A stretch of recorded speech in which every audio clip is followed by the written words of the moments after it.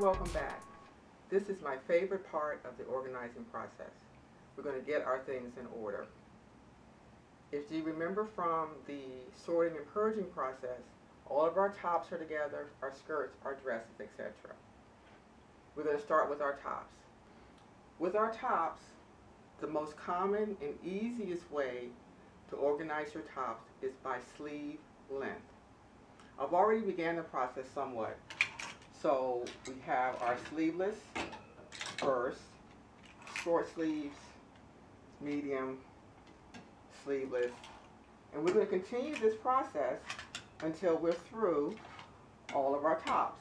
The key to this entire process is that you, number one, can find what you need when you need it, and number two, that you can maintain it.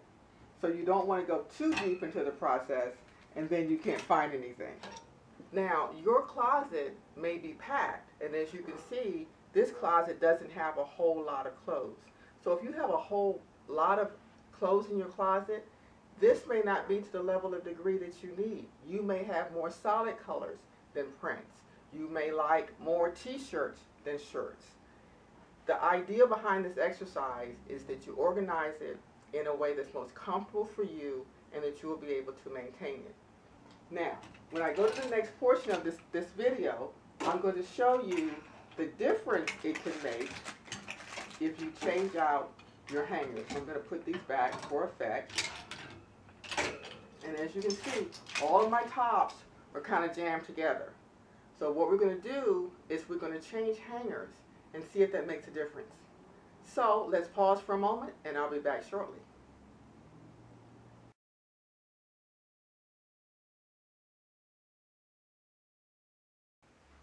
As you can see, we've changed out all the hangers. They definitely save you a lot of space in your closet. Now, changing hangers are optional. They are not that expensive and you can purchase them online, but it's not imperative. However, if you have a lot of clothes in your closet, it would be to your advantage to get thinner hangers. We've done our tops by sleeve length, sleeveless, short sleeve, long sleeve. One thing to consider, depending again upon the volume of clothes in your particular closet, you may want to do by color, you may do by style. For example, your dressy shirts versus your t-shirts versus your casual shirts. It's up to you. I've moved the sweaters, so now the sweaters are here instead of the skirts.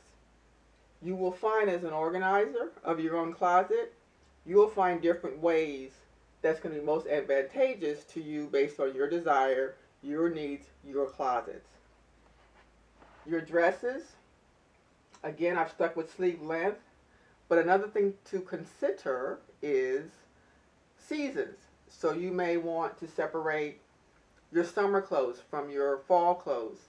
You may want to separate the style, your dressy clothes versus your office clothes versus your casual clothes. The level of detail depends upon your closet. You want to make your closet conducive to you being able to find what you need when you need it and find it pretty rapidly. So what do you think?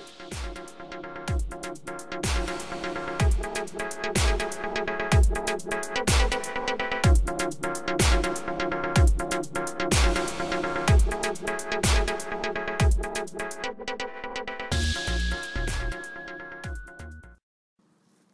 congratulations. You've made it through the entire organizing process. So now let's look at some key teaching moments.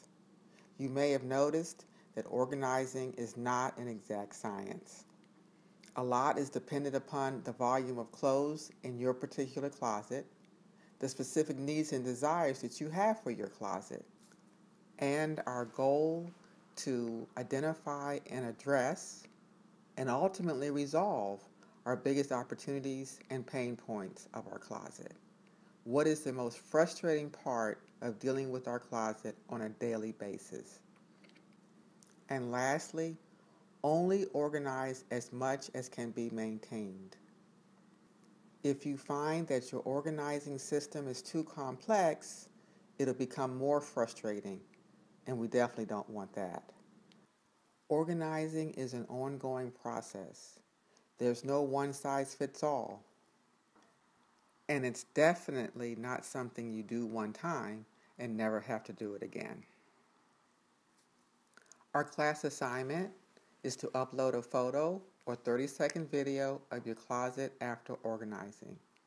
Please give us a brief description of your thought process that you used as you put your clothes in order. All questions are always welcome and feedback as well.